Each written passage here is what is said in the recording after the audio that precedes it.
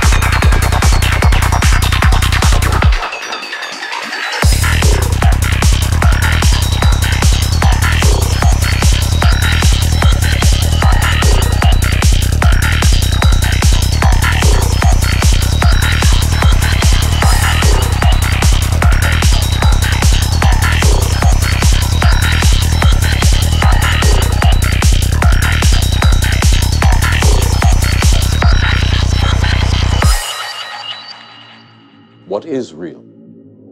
How do you define real? If you're talking about what you can feel, what you can smell, what you can taste and see, then real is simply electrical signals interpreted by your brain.